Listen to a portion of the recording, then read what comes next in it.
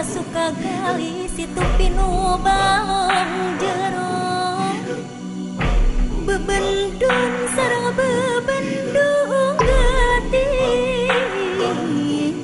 Sahli racuwag Awit te pangajoba lantaran ti